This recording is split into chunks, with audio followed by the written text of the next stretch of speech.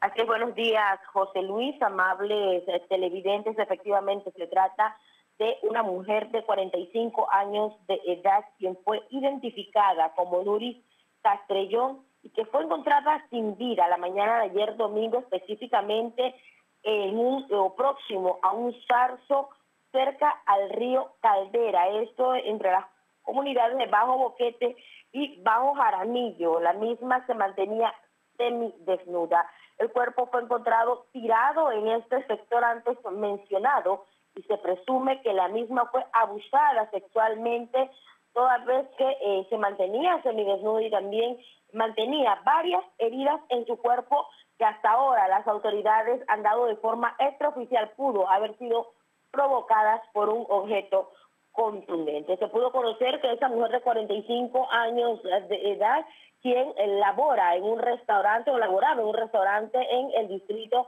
de Boquete es oriunda del eh, sector de Boquete y específicamente se mantenía de vacaciones el día de hoy, retornaría a sus labores luego de un mes de estar de vacaciones en este restaurante del distrito de Boquete. Se desconoce hasta ahora cuáles son las causas o el móvil del hecho, sin embargo, pues ya se habla de un femicidio producto, que la misma eh, fue víctima presuntamente de abuso sexual por parte de sus atacantes. El levantamiento del, cuerpo, quien estuvo a cargo de eh, la personería del distrito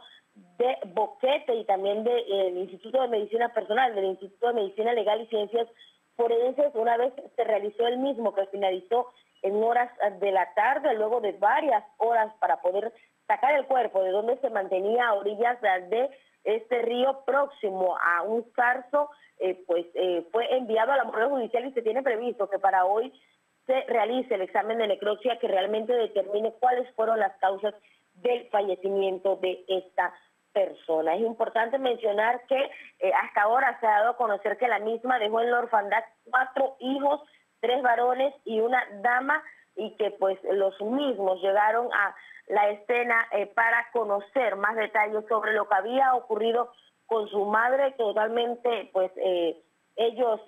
sumamente en el momento estaban que no creían que se había registrado ese homicidio que cobró la vida de esta mujer. Hasta ahora se ha dado a conocer de forma extraoficial que se puede estar hablando de la captura de un sujeto presunto responsable del hecho y no que se descarta que otras personas estén involucradas en el femicidio, sin embargo, pues eh, se espera que el mismo sea llevado ante las autoridades del órgano judicial, un juez de garantías para que se le imputen